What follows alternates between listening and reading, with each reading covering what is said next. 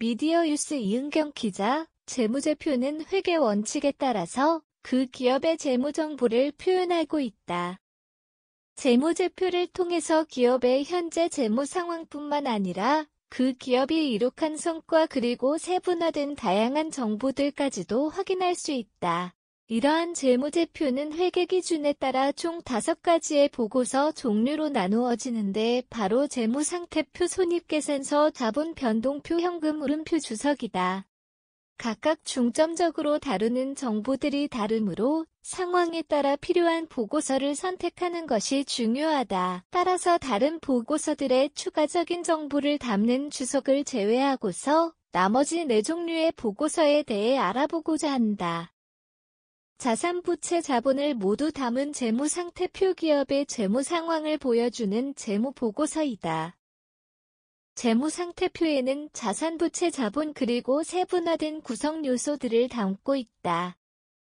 따라서 재무상태표에서 살펴보아야 할 중요한 등식은 자산 등호 부채 플러스 자본이다.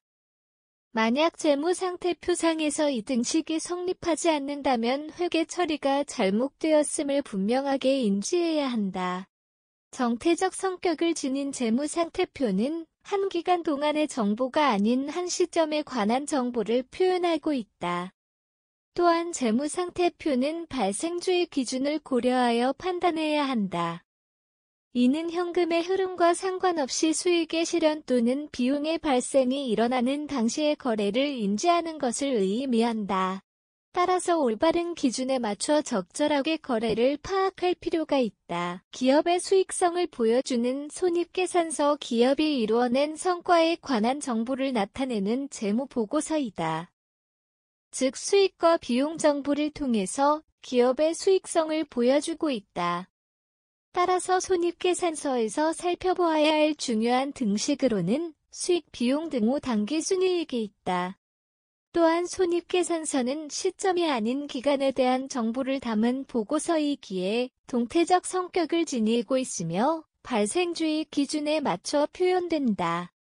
순자산의 현황을 기록한 자본 변동표 기업의 자본의 현황을 상세히 기록한 재무 보고서이다.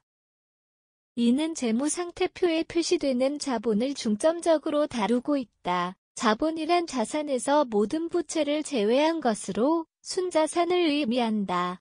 자본은 자본금, 자본잉여금, 자본조정이익잉여금, 기타 포괄 손익 무계획으로 구성되며 이러한 각 세부 요소별로 거래를 기록한 것이 자본 변동표이다.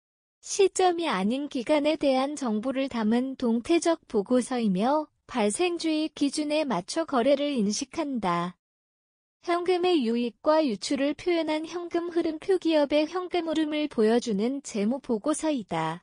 기업의 현금이 들어오거나 외부로 현금이 나가는 거래들을 항목별로 나누어 정보를 기록한다. 또한 현금뿐 아니라 현금성 자산과 관련된 정보도 포함하고 있다. 영업활동 현금흐름, 투자활동 현금흐름, 재무활동 현금흐름으로 총세 가지의 종류로 나누어진다.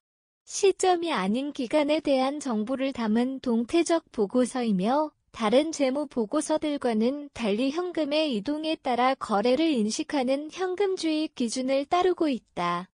기업에 대해 조사하고 평가할 때 재무제표는 참고해야 하는 지표들 중 하나이다. 재무제표는 정말 많은 정보들을 담고 있기에 접근하기 어렵다고 느낄 수도 있다.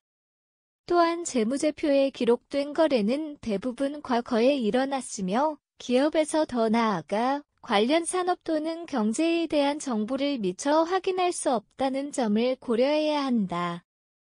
따라서 전체적으로 기업의 가치를 예상하고 평가하는 것은 각자의 개인들이 해결해야 하는 문제일 것이다.